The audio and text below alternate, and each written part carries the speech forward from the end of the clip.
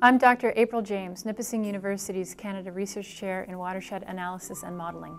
My research focuses on the movement of water through the terrestrial environment as it works its way through to streams, rivers, lakes, and wetlands. I use a combination of field studies, lab analysis, and computer modeling to build a better understanding of our watersheds. Thanks to the CRC, I was able to return to Canada from the US as a working scientist and academic. The CRC funding supports a new watershed hydrology lab at Nipissing University that includes equipment for field research, laboratory instrumentation, and computing infrastructure. The benefits of my research is to provide a better understanding of our watersheds and how they process water. This will help us plan, conserve, and manage for long-term sustainability of our freshwater resources in a changing world.